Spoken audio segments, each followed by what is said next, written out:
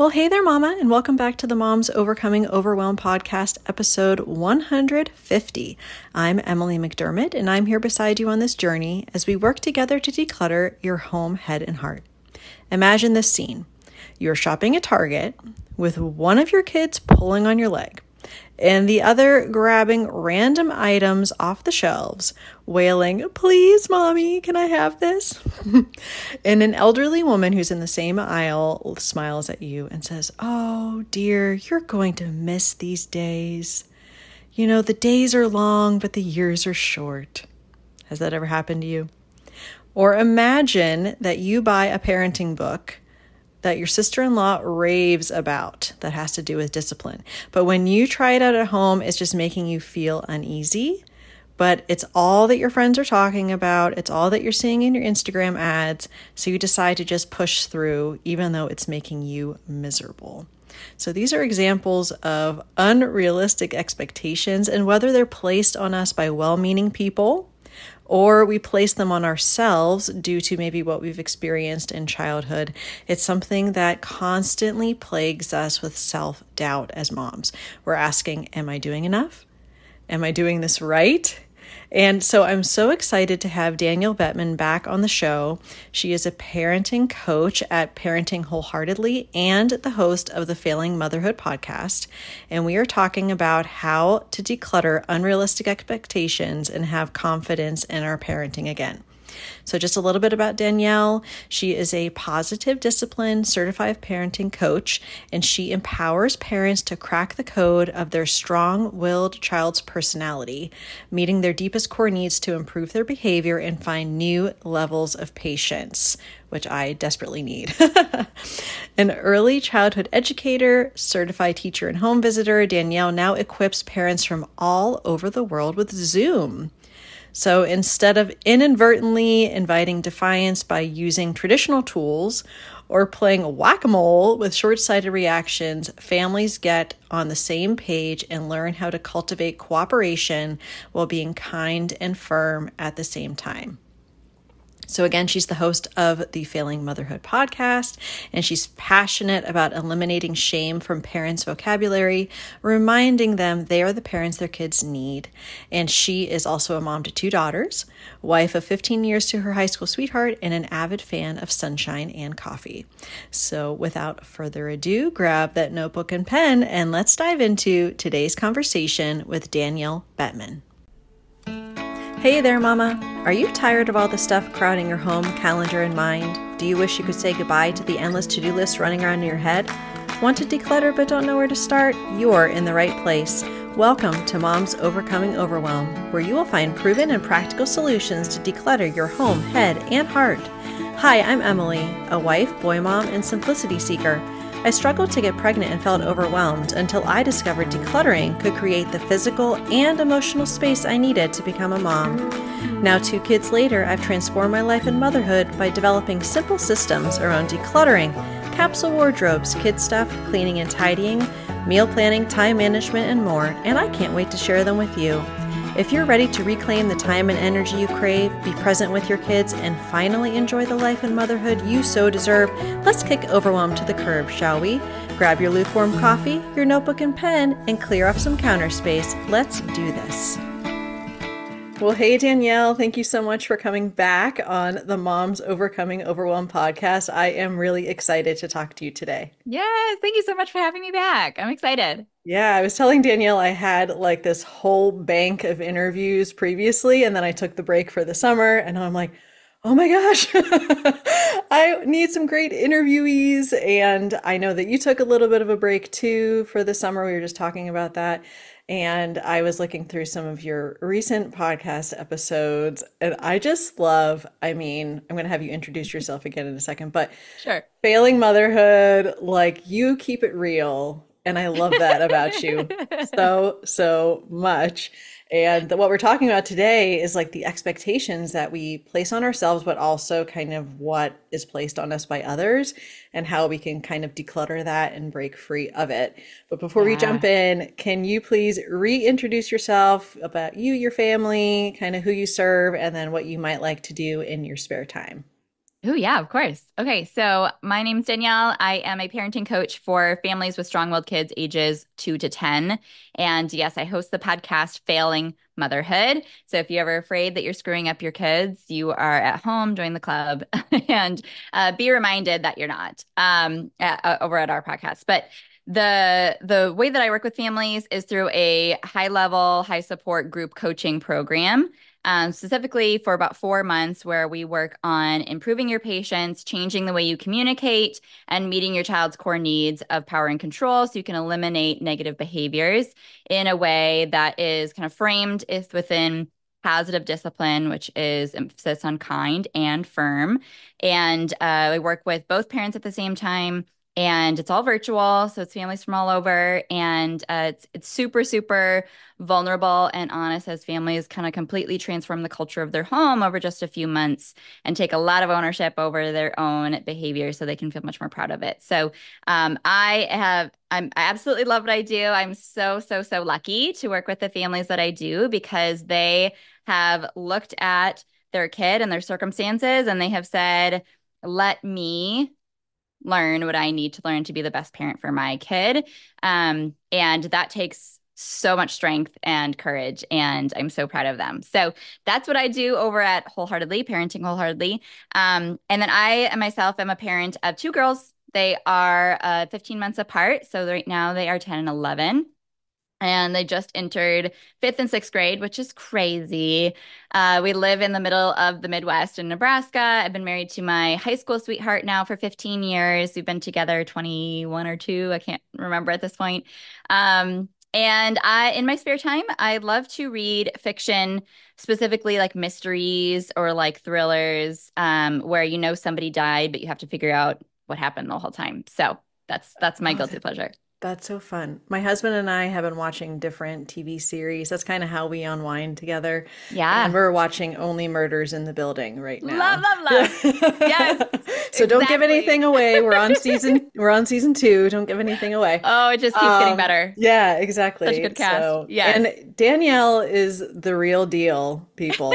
um, I attended her masterclass, which we can link to in the show notes because I have definitely have a strong-willed child um, sitting in his bedroom right now. but um, I will probably be a client of yours at some point. Like I'm just going to put it out there. Like things are doing pretty that. well right now, but you know, I'm I'm um, happy to work with you in the future and highly recommend your services to all. Um, and normally when we chat, I ask my guests about like a time in their motherhood that they've felt overwhelmed. But because I've already asked you that, I thought we could put a little spin on it. And any time that you can think of recent or otherwise when you felt like either you were putting unrealistic expectations on yourself or if you feel like somebody else either overtly or kind of on the sly was sort of um, putting an expectation on you and mm. kind of mm. how you were able to deal with that because sometimes we have well-meaning relatives and comments and things yes. that make us kind of question um, mm-hmm. what we should be doing. So i would be curious if there was any example from your own motherhood you would like to share. Oh so many. Yeah. I mean i feel like just subconsciously or implicitly anytime you're parenting around your parents or in-laws you can just feel like a palpable energy of insecurity and it could be not at all warranted from even what they have said verbally or what they are actively judging or not judging. Uh it just it just is there. It's like the elephant in the room. And uh it's something that comes up with with clients a lot. So anytime i parent around my parents um i last year my one of my daughters was on a y basketball team. And i had to wrestle with her not being good at it on a team sport where they do need people to like participate right at like a minimum level of engagement to score points and things. And i could feel how uncomfortable that made me just watching knowing like it's completely fine. This is the first time she's ever played this. Like it's a wide league all the things. But like i had to work on the pep talk in my head because I could just feel like I was letting other parents down or something, like really way too much baggage in that moment. Um, and I also can never forget like one of the worst meltdown outbursts, emotional uh, sagas that happened at Walgreens. Or maybe it was CVS. I think it was CVS. Um, where I had the out of body experience of just like almost floating above us and then seeing us from all angles of all the strangers in the store and just feeling like I all right, this is one of those moments. It's going to go down in our parenting history of like the meltdown at CVS. How am I going to handle it? And I actually had enough awareness that it was like I was on the spot and I, you know, managed it really well, but it easily could have gone the other way if I let that insecurity take over. Um, but I feel like that it just kind of com- continues to come up. I don't think you ever master managing expectations. No, and the examples that you gave, so my husband and I were both like band geeks growing up. I did dance and band, and then it was like no sports. And so our boys are getting into sports, and it's interesting because they actually are taking to it pretty well and they're enjoying it. But I understand what you're saying as far as like, because I believe, correct me if I'm wrong, you did competitive cheer. Is that right? And okay. gymnastics. And gymnastics. Yeah. Okay. I was trying to remember from our previous conversation. So like when yeah, so when you have kind of this background of like you were involved in a sport or like something in a team, yeah. you know, and then it's so hard to like figure out that balance with like is this an expectation like it's good for my kids to be able to be on a team and kind of have those you know values? Or yeah. is it that it's like my expectation and what i think uh, others are thinking mm-hmm. of me or like my kid? And um, the other thing is that i definitely had a target. It was a target meltdown. Okay. And it was the one time i have i think sean was three but carrying him he was big enough that like i had to do like kind of like the wedding carry over the threshold. You know, yep. he was that big. Oh boy. carrying him from the toy section, which is usually in the back of the store. Always in the back. All yep. the, yeah, always in the back. all the way through and just like I just need to get out of this store. I just need to get yeah. out of this store. And uh. then being able to again, like you said, have the wherewithal to not be like why are that was so embarrassing like why are you embarrassing me in front of all these yeah. people like it's not about me like right. my kid is dysregulated, he's upset, he's hurting, whatever. But sometimes my first inclination is like, oh my gosh, like what are others thinking of me oh, yeah. carrying this screaming child through the store? So besides like maybe our own childhood or like our perceptions of like what others are thinking, like what are where do you think some of these like expectations are coming from or kind of like placed on us because I know you know a lot about um, child psychology and like parent psychology. And I'm just curious yeah. from your personal and professional background, like where do these expectations come from? Yeah, I feel like I am incredibly lucky because with the work I do, I am exposed to a consistent influx of reality checks. And vulnerability from other parents and conversations about these topics that continue to remind me of all the things we need to hear a hundred million thousand times in, in the healthiest sense and that it's it's very much like uh, the best benefits of a support group and why people keep going back to things like AA or or Al-Anon because they're just redirections that you constantly need to fight from what feels like the very natural flow of instincts and expectations and patterns and of behavior that our society constructs without us really even realizing it.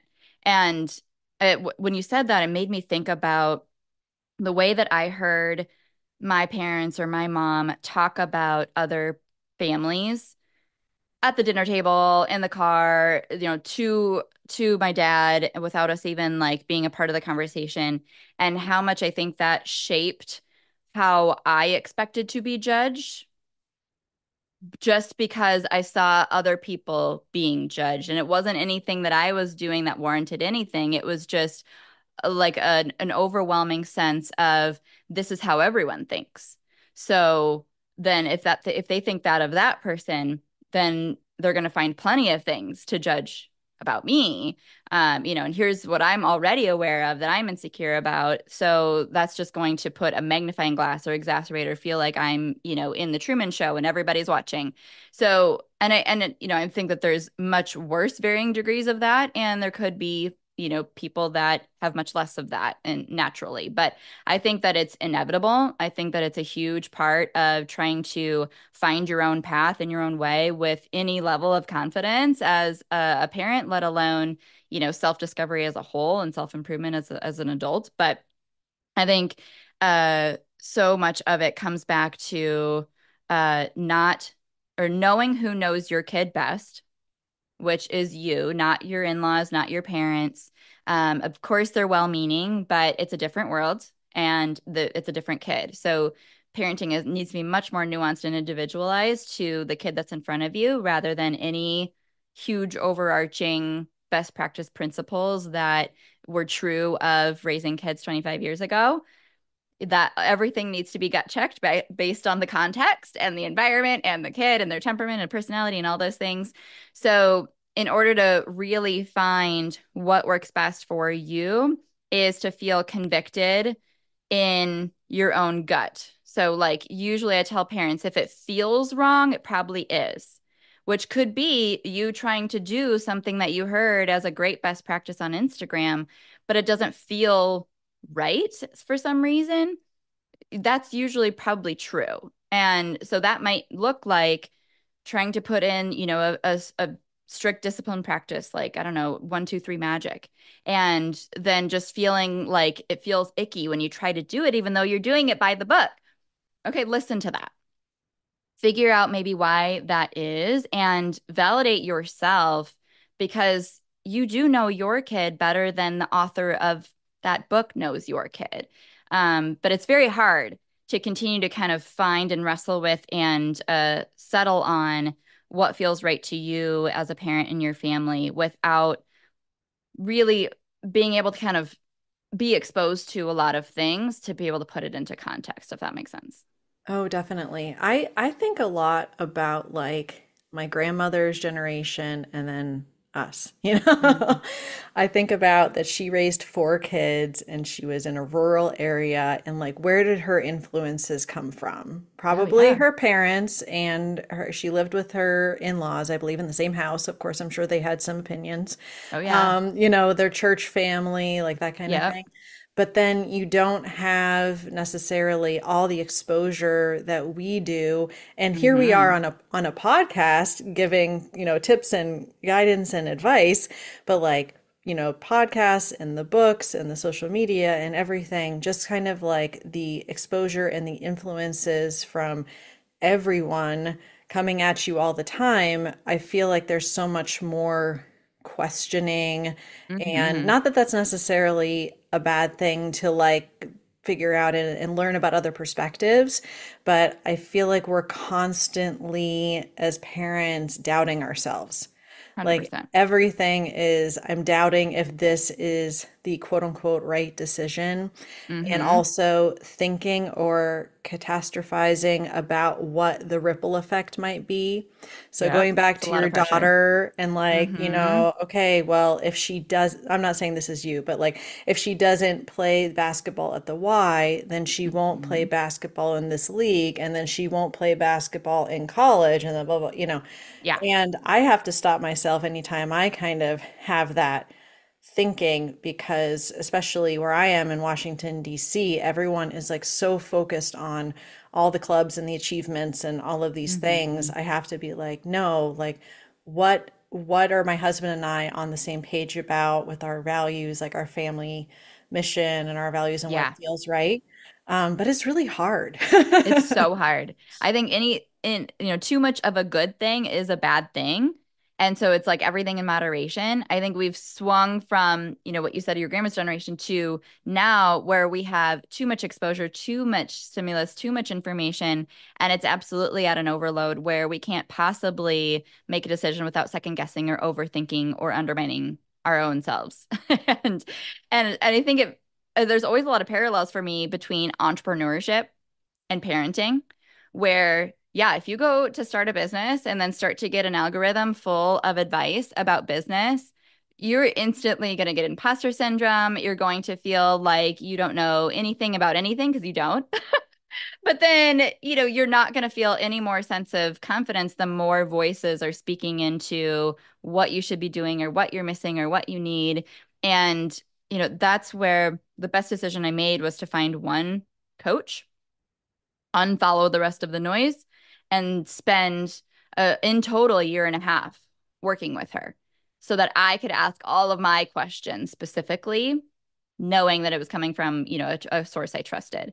That's what I feel like absolutely laid the foundation I needed for my business. I don't think I could have created that same sense of like solidity in my that's not a word in my uh, model of my business without that you know level of support. And so that that's why I recommend uh, my the way that I designed my my programs because you ha- you know going deep with one source I think provides a sense of clarity that you just can't get from like the hodgepodge quilts of input otherwise. Yeah, really like being able to put the blinders on and then yeah. being able to focus.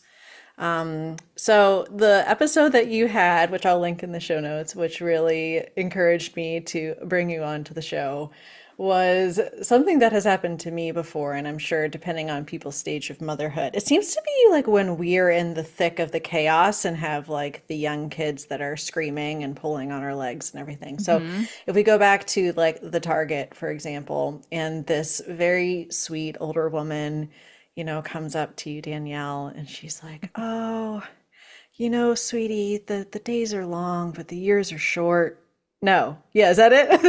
yep. No, that's it. I, I almost you're messed it up. This. You're gonna miss this. you're gonna you're really gonna miss this. like they're only little for so long. And then we go on Instagram and it's like I'm, you know, sleeping beside my child and smelling his hair and like all the like super romanticized things. And then yeah. for me, as someone that had postpartum anxiety, I just figured out these like PMDD type symptoms that were causing me to like cry, cry, cry, cry. You know, luckily mm-hmm. I've been able to mm-hmm. figure that out. I'm feeling like a new mm-hmm. person. So we're happy Good. about that.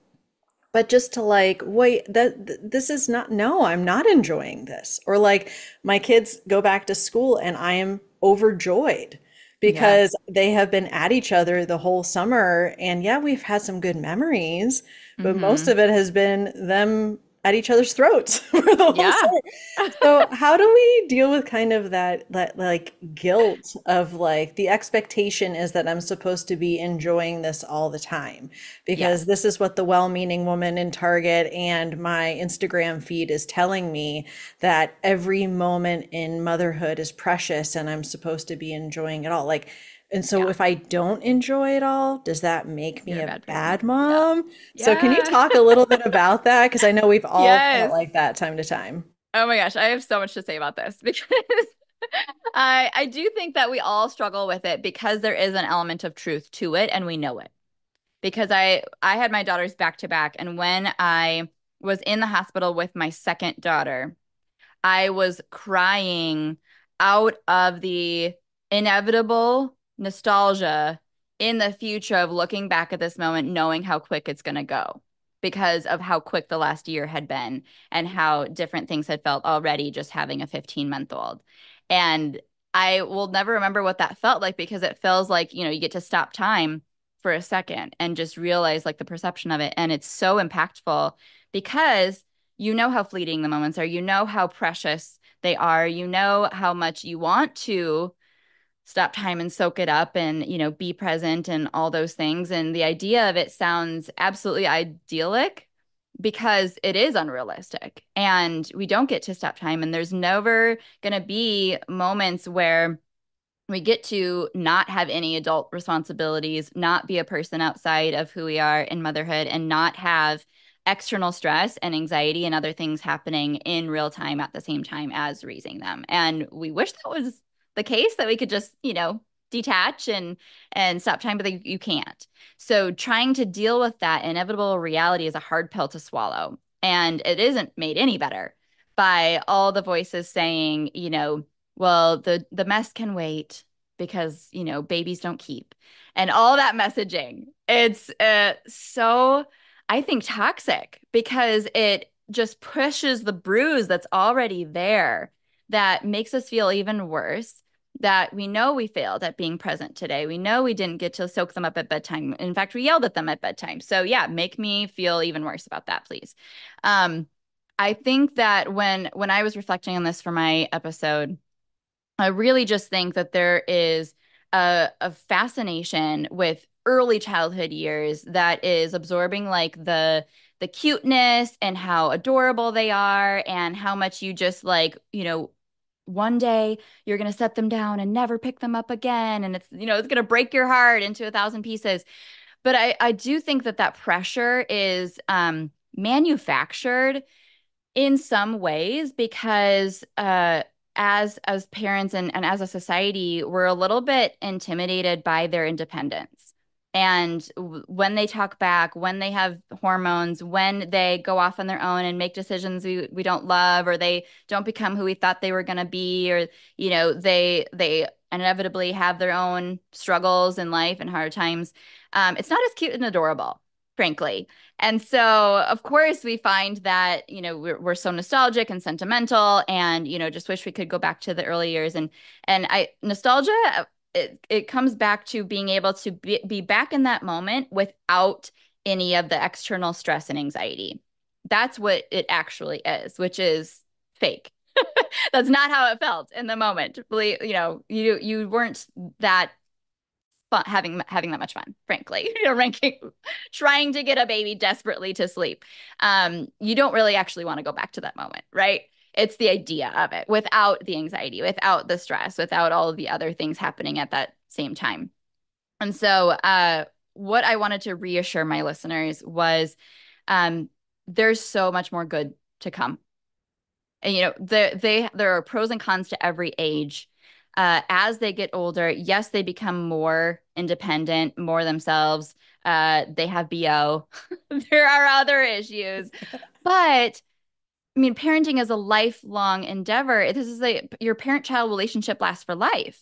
So oh, everything should come into a much more widened, zoomed out lens of the you know what i do is not only influential and impactful for just a few years when they're really easily manipulated and i can pick them up and take them out of the store now everything should be in the perspective of how will this impact the adult they become how will this impact our relationship in 20 years? Will they want to come home for christmas?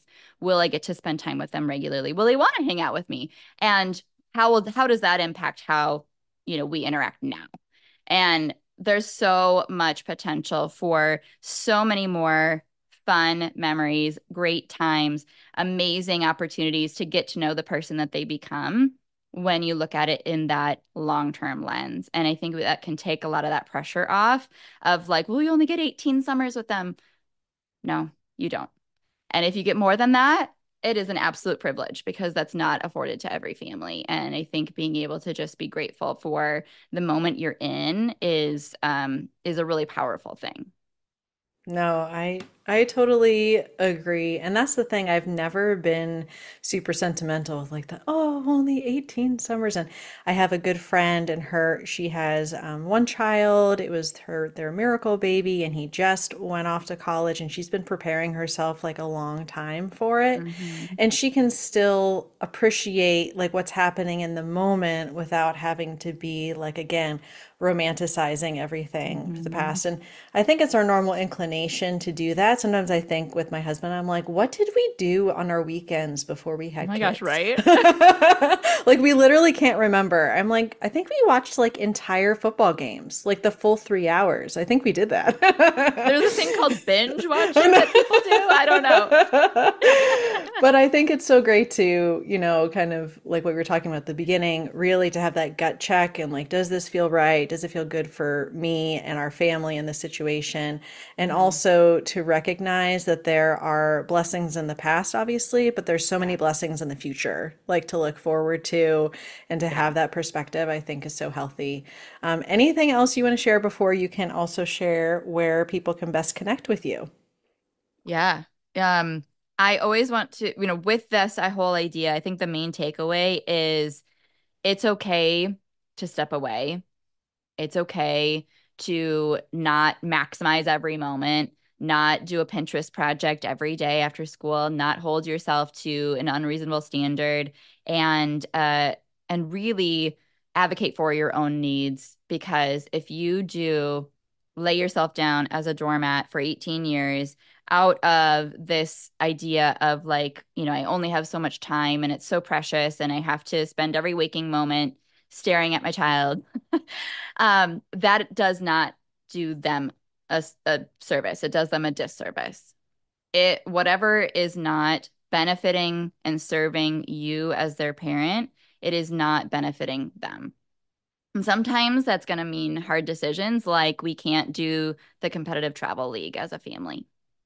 Right? Where yeah, that's that's a very hard decision. There's a lot there. There's a lot of potential memories and, you know, things in that that past that could be a ben- benefit, but if that's going to eventually drain your finances to a very stressful point or put a grate on your marriage relationship that five years from now ends up combusting out of burnout, that's probably not the best decision for your family. And it's really hard to know that in the moment, but zooming out to say in that big wide lens of what are we what what's the trajectory 20 years from now and let those goals in inform today what this season should look like for our family, it's going to be saying no a little bit more often and having to do that out of a source of self advocacy. But just know it is more damaging to your kids to see you burnt out all the time, overwhelmed, taking it out on them and making them feel a little bit responsible or guilty for their interests or their passions rather than being able to be a sturdy leader that is able to allocate balance and say we this is what we can manage in the season these are our limitations how can we find an outlet for you within those frameworks so that we all stay sane and and prioritize our relationships um and i think that that's just hard to implement overall but you know, you need to hear as many quote unquote expert voices as you can giving you that permission so that you actually do feel like you can do that. yeah, I always feel like I'm giving decluttering permission slips. So yes. I have the decluttering ones, and Danielle has the parenting ones. And yep, like I say, I'm I giving them out very copiously. Yes. Yeah, I was say I give them out like Oprah gives got, gives out cars. So there you go. You um, get permission slip. You get permission slip. so please tell us the best way that people can connect with you, where they can find you, all the good stuff. Yeah, yeah. So wherever you're listening to this podcast, you can search "Failing Motherhood," subscribe, follow, find us there. Um, we have 160 episodes. I think we started at a very similar time as um, as Emily. So uh, lots, lots and lots of interviews and advice for parenting uh, kind of neurodivergent or very strong-willed kids, and you'll find your home there if that's you. Um, my website, parentingwholeheartedly.com. That's where you can find that free masterclass on being a calm and confident parent of your strong-willed child. Um, releasing guilt and being able to not crush their spirit, but find ways that are kind and firm to prioritize your relationship.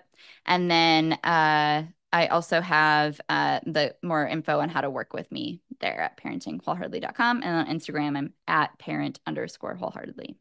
Wonderful. I will link to everything. Thank you so much for coming back on the show. It's always wonderful chatting with you, and I just really appreciate your time. Of course. Thanks for having me. This is so much fun. If you like today's podcast, here's what you can do. Just take 30 seconds to leave me a review. I know you're a busy mama, you're overwhelmed, in fact, but 30 seconds of your day makes such an impact. I'll be blessed by your words, they'll definitely make my day. And who knows, you might be entered for this month's giveaway. In Apple Podcasts, scroll down to write a review. Thanks so much for your time. I'm so grateful for you.